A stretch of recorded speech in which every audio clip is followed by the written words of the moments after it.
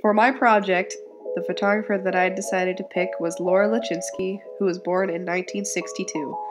She is a Canadian contemporary photographer, and she is best known for her still lifes.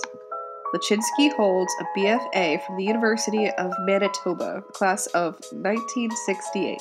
In 1991, she received her Master's of Fine Arts from Yale University. Laura is currently a professor of the visual arts at the University of Chicago. Laura wasn't always known, though, for her photography of still life.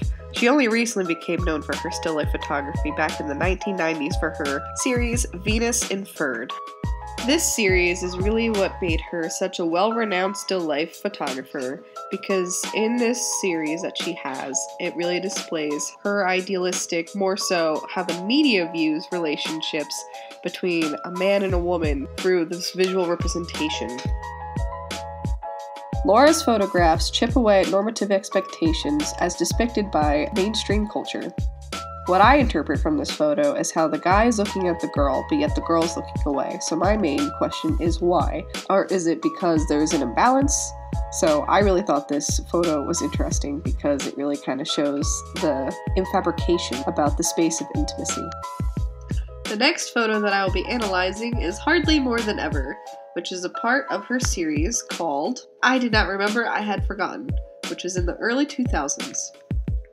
In this photograph, you can see how there's a bunch of dirty dishes by the windowsill, and the real importance about this photo is not so much about why the dirty dishes are there, but it really gives insight into the fact that people were once there. So somehow in this photo, you can really justify the personification without even using human figures. This idea of how you're able to personify an image without actually using human figures or any real objects to give human figurations to this is why Laura became such a famous still life photographer. The third and final photo that I'll be analyzing for today is Untitled Number 8 from her Somewhere Somewhere series from 2004. Again, referring to how she's able to really personify an image without using figures is a really good example through this photo. For example, it's an empty room that's very barren and beige, and in the second room that you can just barely see, it's painted baby blue and there's spackle all over the wall. So the question is, who lived here before? Why did they leave, or are they coming in to stay?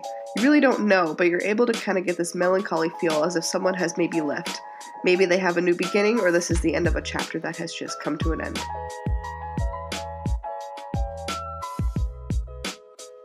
Overall, I believe that Laura Letinsky's photos are very unique in the way that they're almost poetic, of how you're able to really personify without using a physical human figure to still give an overlaying melancholy tone to each and every photo.